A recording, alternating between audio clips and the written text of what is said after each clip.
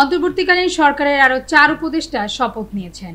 রাষ্ট্রপতি মোহাম্মদ শাহাবুদ্দিন তাদের শপথ পাঠ করান।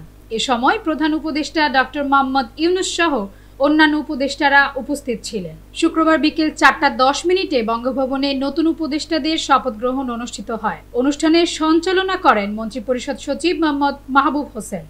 নতুন উপদেষ্টারা হলেন সাবেক সচিব মোহাম্মদ ফাউজুল কবির খান সাবেক মন্ত্রিপরিষদ সচিব আলী ইমাম মজুমদার, অর্থনীতিবিদ ওয়াহিদ উদ্দিন মাহমুদ এবং বাংলাদেশ রাইফেলসের সাবেক মহাপরিচালক লেফটেন্যান্ট জেনারেল জাহাঙ্গীর আলম।